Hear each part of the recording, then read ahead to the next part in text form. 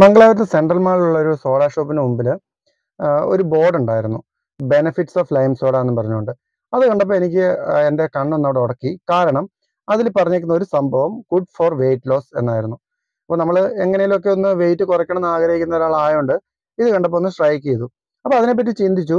പക്ഷേ ഇതിൽ മറ്റൊരു കാര്യമുണ്ട്. നമ്മളിപ്പോൾ ഒരു വെയിറ്റ് ലോസ് പ്രോഗ്രാമായിട്ട് എവിടെ ചെന്നാലും ആരുടെ അടുത്ത് ചെന്നാലും അവർ ആദ്യം ട്രെയിനർ ആദ്യം പറയുന്നത് നമ്മൾ സോഡ അടങ്ങിയിരിക്കുന്ന ഡ്രിങ്ക്സ് ഒഴിവാക്കണം എന്നാണ് അപ്പം ഇവർ ഈ പിന്നെ കടയുടെ മുമ്പിൽ എഴുതിയേക്കുന്നത് കറക്റ്റായിട്ടുള്ള കാര്യമാണോ? അതോ വെറുതെ എഴുതിയിരിക്കുന്നതാണോ ഒരു ബിസിനസ് തന്ത്രം എന്നുള്ള രീതിയിൽ എഴുതിയേക്കുന്നതാണോ? ഇല്ലയോ എന്ന് എനിക്കൊരു സംശയം വന്നു.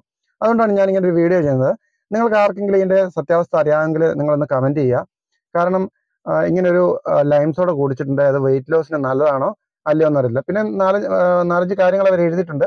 ഇതൊക്കെ ഉള്ളതാണോ നമുക്ക് അറിയത്തില്ല എനിവേ നമ്മൾ അവിടുന്ന് രണ്ട് ടൈപ്പ് ലൈം സോഡ കുടിച്ചു. നന്നായിട്ട് റിഫ്രഷിംഗ് ആയിരുന്നു.